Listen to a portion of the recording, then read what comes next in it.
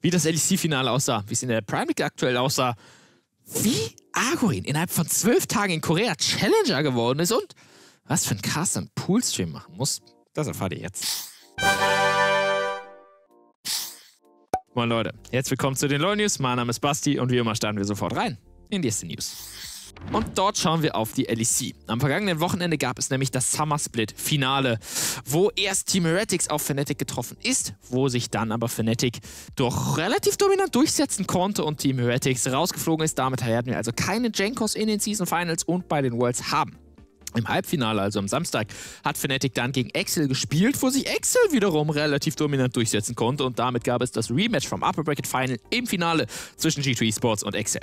Im ersten Game sah G2 Esports gewohnt stark aus. Ja, das Game war zwar relativ lange Zeit noch ziemlich even, aber innerhalb von zwei Minuten konnte sich G2 Esports zwei sehr gute Fights sichern und haben dann mit dem Quarter Killer von Summer das Spiel auch relativ zeitnah gefinisht. Im zweiten Game konnte Excel sehr lange, sehr ausgeglichen mithalten und das Spiel ging auch wirklich lange. Irgendwann gab es sogar sogar einen Baron-Stil von Peach, der XL weiter im Game gehalten hat.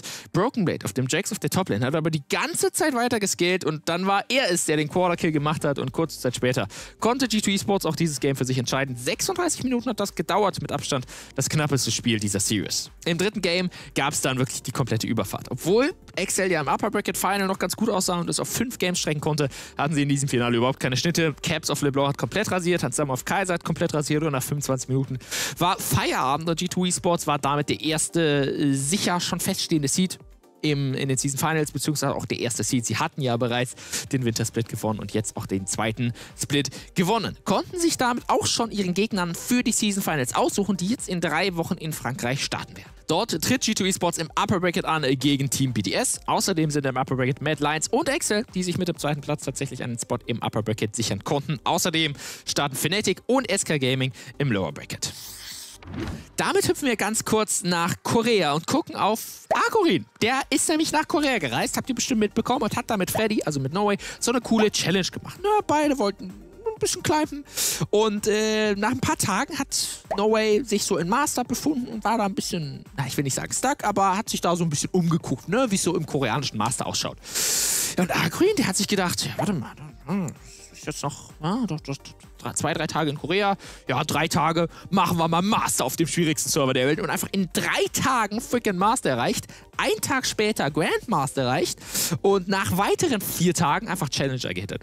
Insgesamt hat es zwölf Tage in Korea gedauert, seit dem Season-Beginn, also quasi nur acht Tage, um Challenger zu hitten. Kurz danach hat er noch gefeedet, my job's not finished. Das heißt, er will unbedingt auf die 1500 LP kommen. Das ist das Ziel, was er sich quasi gesetzt hat.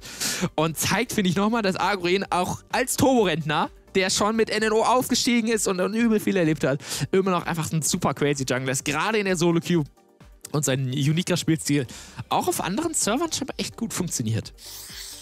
Damit springen wir nochmal ganz kurz als Referenz auf die letzte Folge. Da habe ich euch ja nämlich nach den besten 2v2-Comps gefragt. Und ihr habt ein paar reingeschrieben und ich muss sagen, die sind schon, also manche sind sehr eklig, aber auch ziemlich gut. Und tatsächlich steht mittlerweile auch fest, dass der neue 2D-Fighter, den LOL rausbringen wird, auch einen 2v2-Modus haben wird. Das heißt, ich werde euch in ein paar Wochen vermutlich nochmal fragen, was da eure besten Kombos sind. Erstmal geht's aber weiter mit der nächsten News. Damit schauen wir jetzt nochmal auf die Strauß Prime League. Dort bewegen wir uns ja bereits in großen Schritten auf das Offline-Finale, welches am 12.8. in Hamburg stattfinden wird, hin und haben jetzt gerade das Upper Bracket Final live zwischen SK Gaming und Eintracht Spanau. Schaut danach den LoL auf jeden Fall rein.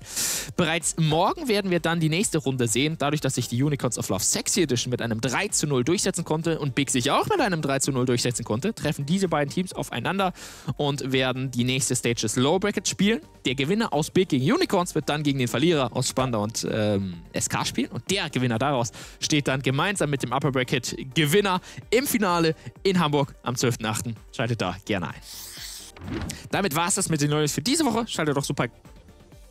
Schon wieder dieses. dieses was ist denn das schon wieder? Spandauer Caster muss jetzt einen Poolstream machen?